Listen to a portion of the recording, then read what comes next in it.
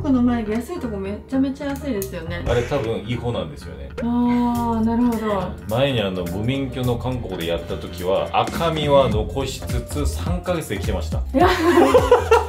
もう左が個人的には右もいいかも。あでも左かな。こんな感じで。おーすごい自然ですねこれは。前とちょっと違うやんこれは。あ全然違いますね。全然違います。もう別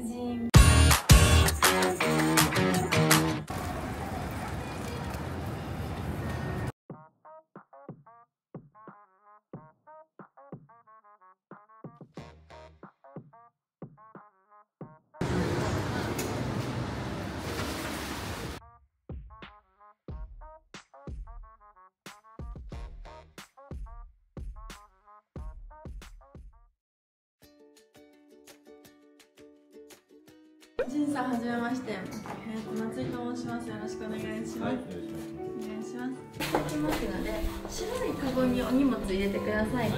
一応すごいのが全部こう綺麗にあるのいいよね。なんか場所によってはあんまり衛生的じゃないところとかも狭いところとかあるけどいいですね。そうなんか先生がすごいいろんな資格をお持ちみたいで。英語が読めなくていろんな資格がありますはい韓国のも結構あります。これですかね。韓国人の名前。アートメイクに関する資格。歯はそうですよろしくお願いします。ジンさん。今日は眉毛のアートメイクですね。はい。今まで1回入れたことあるってことで。5年前ぐらいありますね。それ韓国ですか、はい。韓国の変なところで安いからとりあえず。韓国の眉毛安いとこめちゃめちゃ安いですよね。あれ多分違法なんですよね。ああなるほど。下ろすのしかできないのが私手術して事務移植してて今1ヶ月ぐらいなんですよ。これがダウンタイムが1年なので。あら長いですね。今はちょっとそこまでは目立たないんですけどいつもなんか結構こう分け目とかやってて見えるから。はい。どうですか？私今眉毛は。ちょっと正直こういうのは聞かない。正直。眉毛はもともと自眉は割と太さはあるんですけど眉頭の先がやっぱ薄いのでなんかぼやっとしちゃうというかそうですね。普段剃ったりとかもししないですか？しないんですけど、はい。たまにこうメイクしてもらう時の先生がやってくれるじゃないですか。それがすごいなんか綺麗で、うんうんうん。あこれでいいと思ってマネをしようとしたら、うん。上はなんかなんとなくこうやって削れるじゃないですか、うんうん下がすごい難しくて、はーい。いつもだからあんましないみたいであ。面倒くさいとほっといて、でそしたらまあ結構剃るの難しいってことでアートメイクでちょっと下地が入ったらここまで剃ればいいかみたいなの分かると思うんであと超おすすめのなんか眉毛剃るやつ後で紹介します。歯がちっちゃくてすぐ剃りやすいので。直すポイントってどこですか？人間って。全然知識がないんですよジンさんの場合眉山がないんですよね。眉山ってどこですか？一番高くくるポイント。あこれがあの眉毛の外側3分の1ぐらいに来るはずなんですけどここがないのでなんかちょっとぼわっとした印象になる、うん。そう高いところが結構前に来ちゃってるのでちょっと下がったように見えるとか。あーはいはいはい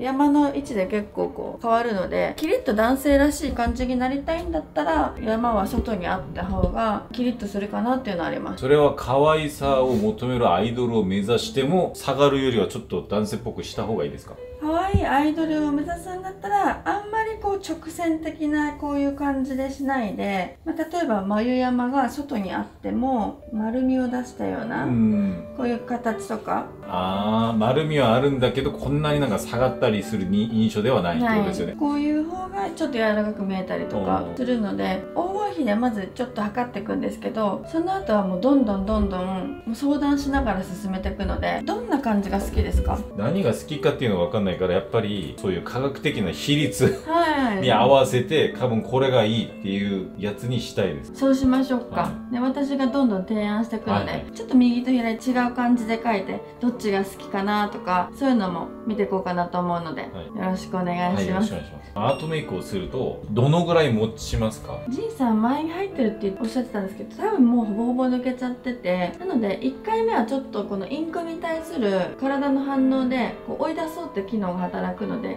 割とちょっと抜けるのでポンポンと2回ぐらい来ていただいたら多分2 2年とか2年半とか持つかなと思います。年半過ぎたらどうなるんですか？全部消えるのか徐々になんか薄くなるのかところどころが抜けるのかどうどういうふうになるんですか？どっちかというと私が使ってるインクは割とこう2年ぐらいでスッと消えてくる感じかなと思いますいろんな種類のインクがあってその種類にもよるんですけど、まあ、長持ちするやつってやっぱ赤い期間がすごいの残っちゃったりとかするんですけど私の使ってるインクは割とスッと消えてその赤みで残ったりとかしないのでまた入れていただければいい感じに戻せるっていう感じのインクを使ってます。前にあの無免許の韓国でやった時は赤みは残しつつ3ヶ月で来てました 赤く残るの嫌ですよね。しかもやった直後がもう本当になんかここに糊張ってるぐらいすっごい濃くて。いやそれは別にいいんですよ。なんか自然になるのであればいいけどなんかほんと3ヶ月ぐらいで「うん。え眉毛どこ行っちゃったっけ?」みたいな、うん、そんなに濃かったのにそうそうそう。3ヶ月ぐらいで消えちゃったの簡単にアートメイクも受けたことあるっていうので簡単にだけ説明してっても大丈夫ですか、でアートメイク入れ墨とよく似てるんですけども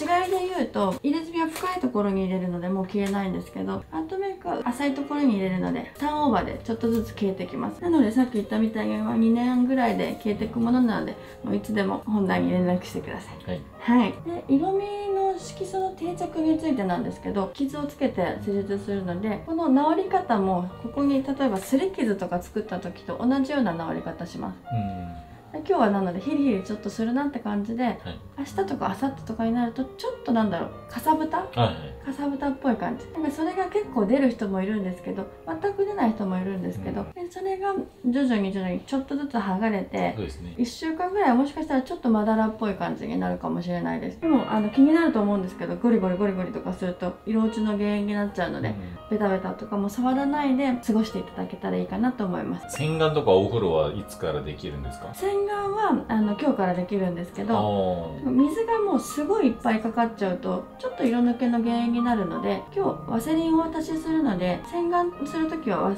ワセリンをここに塗ってもらってで他をこうやって洗ってこう流してもらう感じ。そうするとワセリンが油なのそうでね。はい、かからないのでうん。そんな感じにしてください。ただずっとここにワセリン乗せ続けていってしまうと綺麗にもしてほしいので眉毛のところはティッシュとかをお水で濡らしてもらってこう拭き取りして綺麗にしてあげてください。水道水って塩素が入ってるのでちゃんと消毒にもなるのであはあい、ここだけは避けてください。はいはい、で1週間後ってもうそのかさぶたが落ちてちょっと入れた後より全然薄くなると思うんですけど1週間後よりも1ヶ月後の方が色味が戻ってくるというか不思議なんですけどちょっと発色強くなるのでで1ヶ月はこう色の変化があるので様子見てもらって1ヶ月後にえー、やっぱちょっと薄いかなって思ったらまた2回目を予約取りましょう。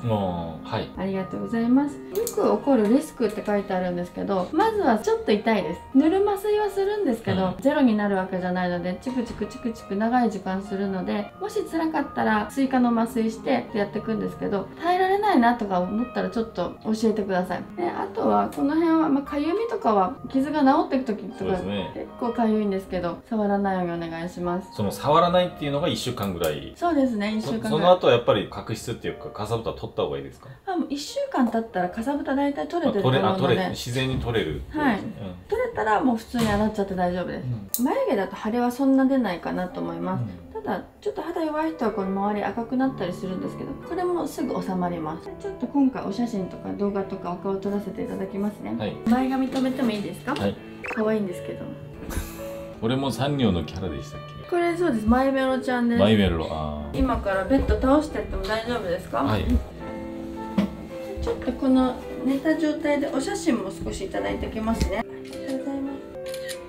ありがとうございます。今からちょっと黄金比をコンパスを使って。おおこういうのが実際存在するやつですか？別に数学者が持ってるじゃなくて美容系であるやつ。はい眉毛用です。これでちょっと黄金比取ってきますね、はい。目の幅を測ります。はい。で目の幅をこうやって測ったら目の幅から眉頭のこの始まる位置が出てきます。お鼻と目の延長線上から眉尻の長さが出てきます。この長さから眉山の位置が出てきます。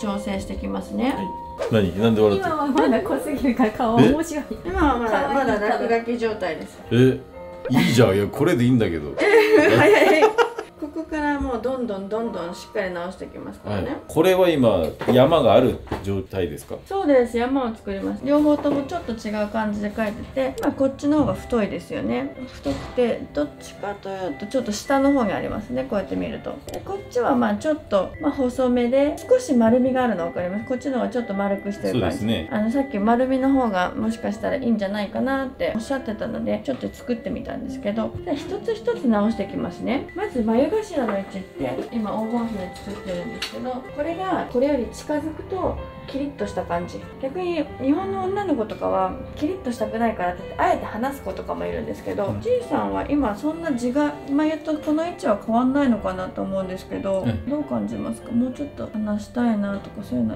目が変ですね。変ですね。左の目だけこう離れてるんじゃないか？こっち少しだけ伸ばしてみてこっちちょっとだけ削ってみてもいいですか？はい。その方が目とのバランスは良さそうですね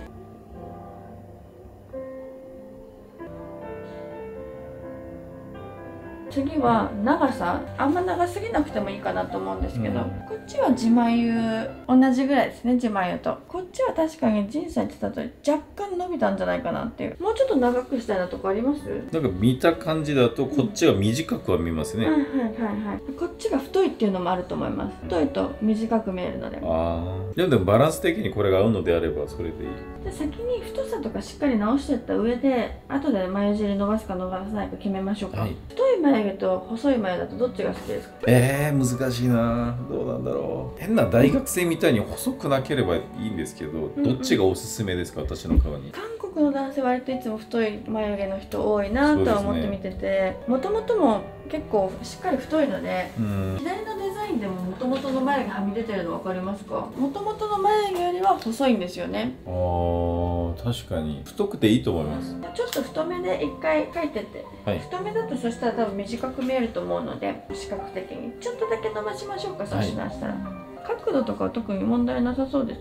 こっち少し、まあ、気持ちちょっと平行よりは上がってるっていう眉毛なんですけど、平行気味の方が好きですか？いやここっちがいいんじゃないかな。こっちの方がちょっとキリッとする感じ。男性っぽい感じですよね。こっちだとちょっと中性的な感じ？柔らかい感じ？求めるのは中性なんですけどこっちがいい気がする。これいいですよね、はい。じゃあちょっと一回こっちに合わせてこっちも直していってまたどんどん修正していきましょうか、はい。あこうやって直していくもんだよね。どんどんどんどん直していきます。何でも言ってくださいね。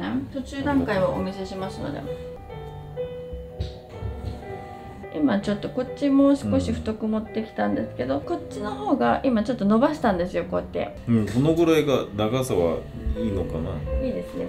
で山が今こっちよりはっきりしてなくて。そうですね。はい。でも山はちょっとちょっと作っちゃって大丈夫そうですね、だんだんキリッとしてきましたね、左がいい気がすこっちこっちするなはい。はい、じいさんはみ出てる毛って剃っちゃっても大丈夫ですか、はいもう全部剃ってください。パナソニックのここ短いんですよ。ああはいはい。あこれで剃ればいいのね、はい。これ手動じゃなくて？おおめっちゃいいですね。あ上も剃りやすいですね。これが短いから。ひげ剃りもできそうじゃないこれ。ね 鼻毛もできます。あもう全部全部できます、うん。特にこう何セとかよく面倒くさがり多いじゃないですか、はい、これだったらすぐ終わりますこんな感じ。でだいぶ近づいてきてますかね。いやもう左が個人的には右もいいかも。あでも左かな。でちょっと上がってるように見えるの。はここがあるからですかね。これに行きますこっちこっちに行きます、オッ OK です。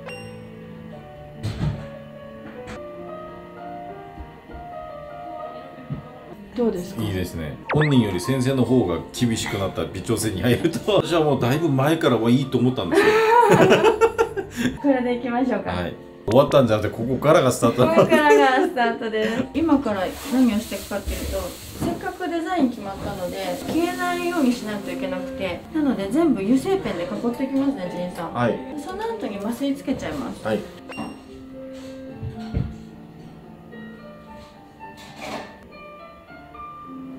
麻酔塗ってきますね。冷たくなりますね、はい。それ韓国のなんですあかこれ韓国のなんです。麻酔が？ハングル書いてある。ブル麻酔です20分ぐらい置きますね。で今からどのやり方でやっていくかっていうのを決めていきますね。はい。大きく分けて2種類のやつやってまして一つがパウダーって言ってこうよく見ると点々点々ってなってるの分かります？ああはい。メイクしたみたいな。これはまあ女性人気が高いなって感じです形がこうやってしっかり出るので反ったりするのかなり楽になるかなと思います。でもう一つが毛のようにこうなるんですね。そうです。毛並みっぽい感じ。これがいいですね私これにしましょうかね。毛並みにしましょう。はい。色味は髪の毛もいつも黒いですもんね。いつもっていうか多分1年ぐらいは黒だと思うよ1年後結構金髪になるかもしれない。なんかさっきのメイクの感じもちょっとふんわり茶色で描いてるってイメージだったんですけど色味ちょっと出してきますね。毛並みだったら全然黒目でもいいかなと思うんですけど、これなんか染めたりもできるんですか？後で。あ眉毛染めるの大丈夫です。ただちょっと直後とかやっぱ抜けちゃうので眉毛ブリーチするんだったら1ヶ月空けてください、うん。色選んでいきましょうね、はい。今3種類のせてて明るいのと真ん中と暗い色です。毛並みだったら全然これでいいんじゃないかなと思ってるんですけど大丈夫そうです、はい。普通真っ黒じゃなくてちょっとブラウンな感じです、うん。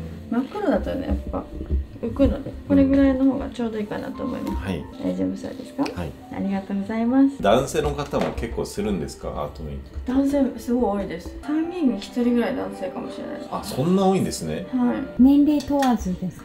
そうですね。3 20代30代の男性すごいです。30代40代。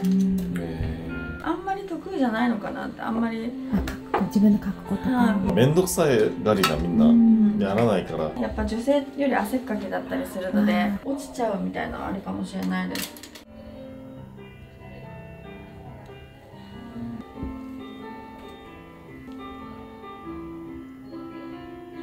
この赤いのは何の印なんですか？この上の線と下の線が交わる、はい、場所ですね。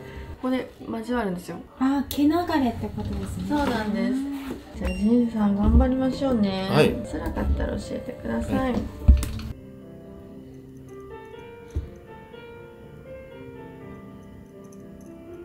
どうですか痛みは？あ全然今のとこ大丈夫そうです全然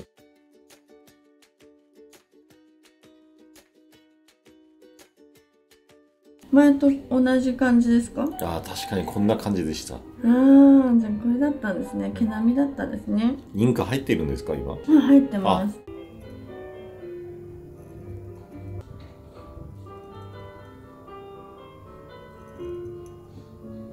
あ今若干痛みはやっとある。今ちょっと麻酔塗ったのにしみる感じだった。あそうそうそうそのぐらいです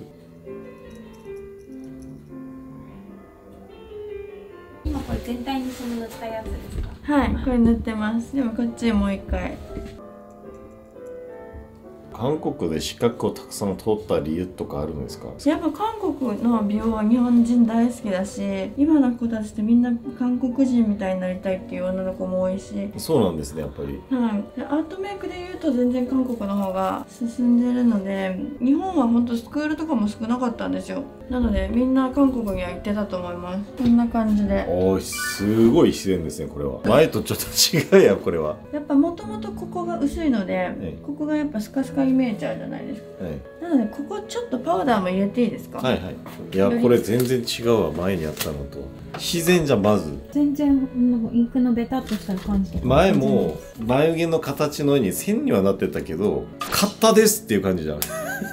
初日から自然だわちょっとだけそしたらパウダーで影みたいなの作って。前は薄くてこうどんどんこうなるっていう。これも狙いですよね。はい、いやいいいい感じ。い、い感じ。なんかキリッとしましたね、いいですね。スピンでもこれが保つっていうのはすごいいいよね。あとあのパナソニックで。いやい これも韓国で習いましたこのパウダー。これデグまで行きました。えー、そうなんですね。あこれはちょっと痛い。いあちょっと痛いです。やでも我慢できなくはないです。釣りの針で刺してる感じ。あそれあは痛い痛いですね。ちょっと痛い多分パウダーだけだとそんな痛くないんですけどやっぱもう重なってきてるのであなるほど。傷の上に傷をしてる。うん。これは痛い。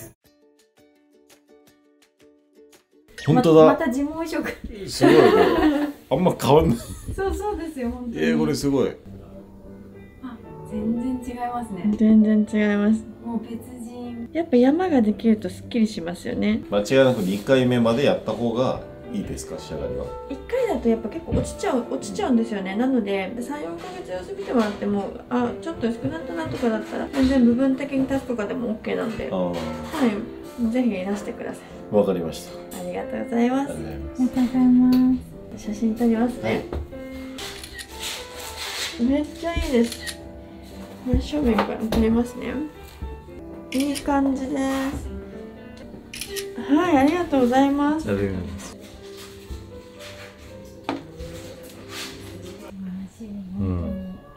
これすごいですよ本当に。うん冗談じゃなくて本当にこう5年前のやつとは違います。えー、よかった。ありがとうございます、ありがとうございます本当に。